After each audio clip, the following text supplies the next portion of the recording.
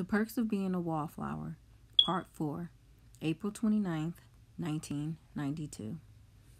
Dear friend, I wish I could report that it's getting better, but unfortunately it isn't. It's hard too because we've started school again and I can't go to the places where I used to go, and it can't be like it was, and I wasn't ready to say goodbye just yet. To tell you the truth, I've just been avoiding everything. I walk around the school hallways and I look at the people. I look at the teachers and wonder why they're here, if they like their jobs or us. And I wonder how smart they were when they were 15. Not in a mean way, in a curious way. It's like looking at all the students and wondering who's had their heart broken that day and how they are able to cope with having three quizzes and a book report on top of that.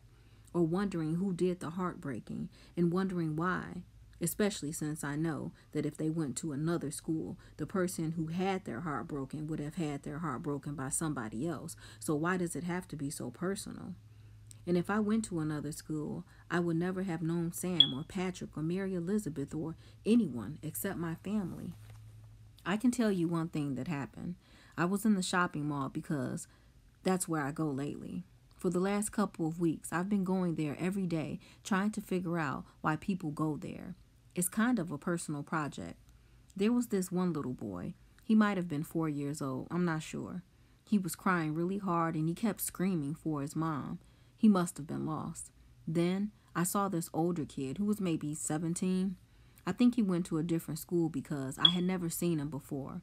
Anyway, this older kid who was really tough looking with a leather jacket and long hair and everything, he went up to the little boy and asked him what his name was.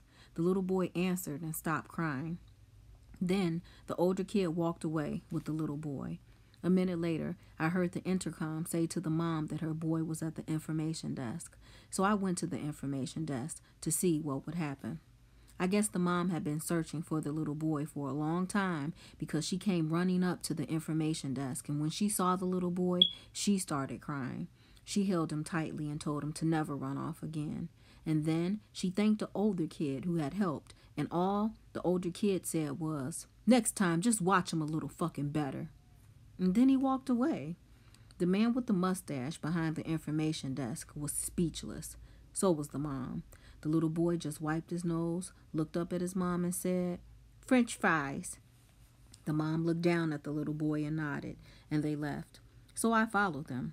They went to the place where the food stands are and they got french fries. The little boy was smiling and getting ketchup all over himself. And the mom kept wiping his face in between taking drags off her cigarette. I kept looking at the mom, trying to imagine what she must have looked like when she was young, if she was married, if her little boy was an accident or planned, and if that made a difference. I saw other people there old men sitting alone, young girls with blue eyeshadow and awkward jaws, little kids who looked tired, fathers in nice coats who looked even more tired, kids working behind the counters of the food places who looked like they hadn't had the will to live for hours. The machines kept opening and closing, the people kept giving money and getting their change, and it all felt very unsettling to me. So I decided to find another place to go and figure out why people go there. Unfortunately, there aren't a lot of places like that. I don't know how much longer I can keep going without a friend. I used to be able to do it very easily, but that was before I knew what having a friend was like. It's much easier not to know things sometimes, and I have french fries with your mom, and to have french fries with your mom be enough. The only person I've really talked to in the last two weeks was Susan, the girl who used to go with Michael back in middle school when she had braces. I saw her standing in the hall, surrounded by a group of boys I didn't know. They were all laughing and making sex jokes, and Susan was doing her best to laugh along with them. When she saw me approaching the group, her face went ashen. It was almost like she didn't want to remember what she was like 12 months ago, and she certainly didn't want the boys to know that she knew me and used to be my friend. The whole group got quiet and stared at me, but I didn't even notice them. I just looked at Susan, and all I said was, Do you ever miss him? I didn't say it mean or accusingly. I just wanted to know if anybody else remembered Michael. To tell you the truth, I was stoned in a bad way, and I couldn't get the question out of my mind. Susan was at a loss. She didn't know what to do. These were the first words we had spoken since the end of last year. I guess it wasn't fair of me to ask her in a group like that, but I never saw her by herself anymore, and I really needed to know. At first, I thought her blank expression was the result of surprise, but after it didn't go away for a long while, I knew that it wasn't. It suddenly dawned on me that if Michael were still around, Susan probably wouldn't be going out with him anymore. Not because she's a bad person or shallow or mean, but because things change and friends leave and life doesn't stop for anybody. I'm sorry I bothered you, Susan. I'm just having a tough time, that's all. Have a good one, I said and walked away. God, that kid is such a fucking freak, I heard one of the boys whisper when I was halfway down the hall. He said it more factual than mean, and Susan didn't correct him. I don't know if I would have corrected him myself these days. Love always, Charlie. May 2nd, 1992. Dear friend, a few days ago, I went to see Bob to buy more pot. I should probably say that I keep forgetting Bob doesn't go to school with us, probably because he watches more television than anyone I know, and he's great with trivia. You should see him talk about Mary Tyler Moore. It's kind of spooky. Bob has this very specific way of living.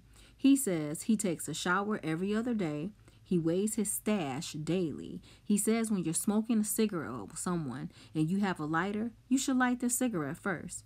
But if you have matches, you should light your cigarette first so you breathe in the harmful sulfur instead of them.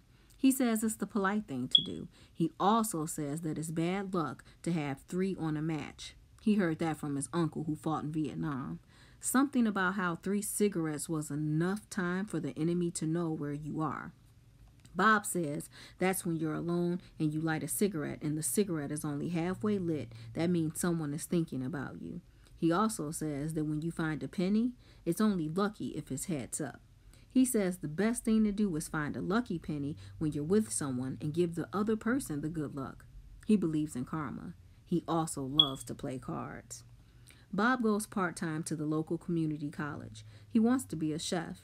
He is an only child and his parents are never home. He says it used to bother him a lot when he was younger, but not so much anymore.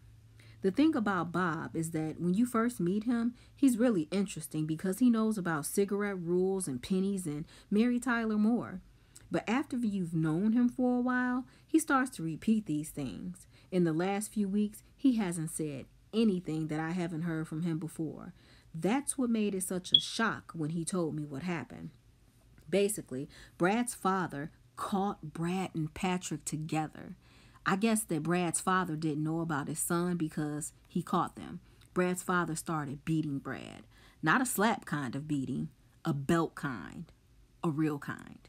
Patrick told Sam, who told Bob, that he had never seen anything like it. I guess it was that bad. He wanted to say, Stop, and you're killing me. He even wanted to hold Brad's fathers down, but he just froze, and Brad kept yelling, Get out to Patrick.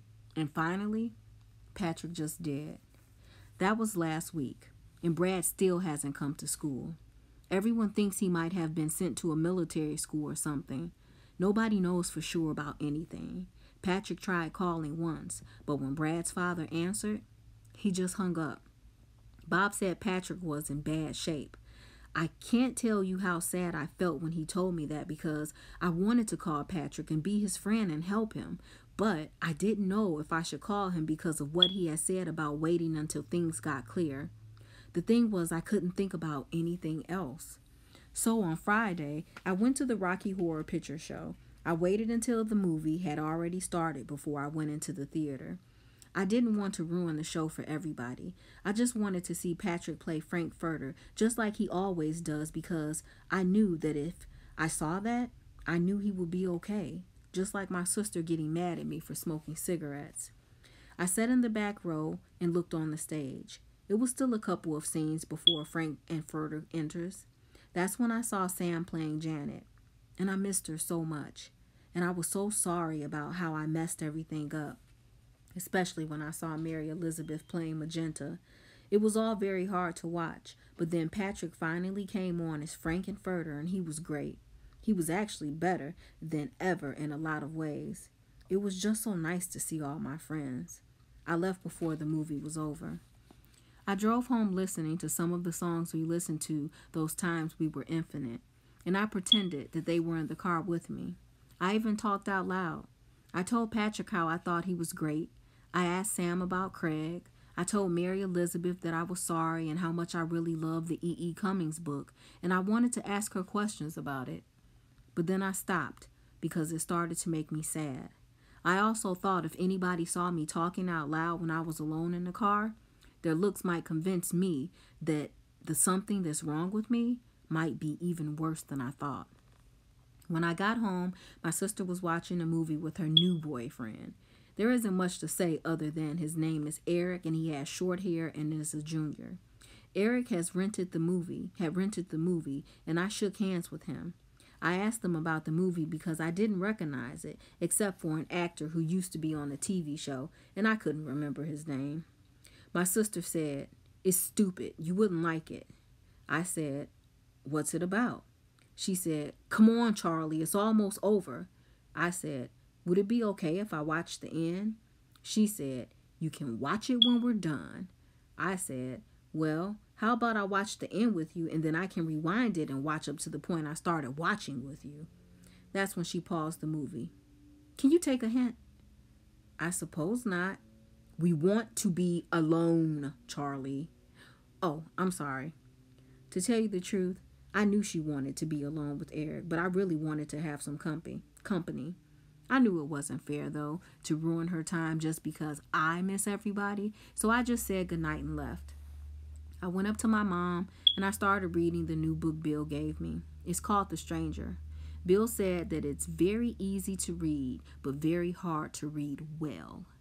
I have no idea what he means, but I like the book so far. Love always, Charlie.